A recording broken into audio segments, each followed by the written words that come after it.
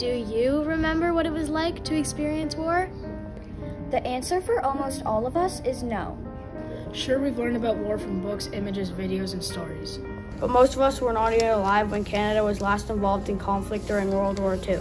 Some of us might know our family members who were deployed to Afghanistan or Middle Eastern issues.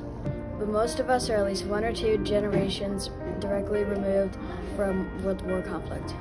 Think about it. Anyone who was 25 years old in 1939, which was the average age of a Canadian soldier in World War II, would have been born in 1914, causing them to now be 109 years old.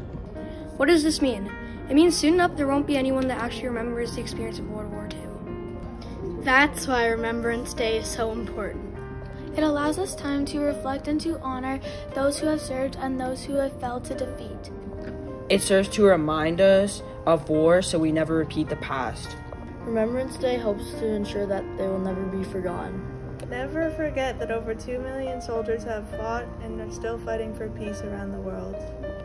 Never forget that 113,663 Canadians gave up their lives while serving in both world wars.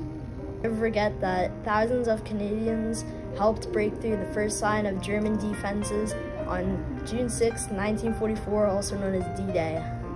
Never forget that 794 communities have also died on peacekeeping missions around the world.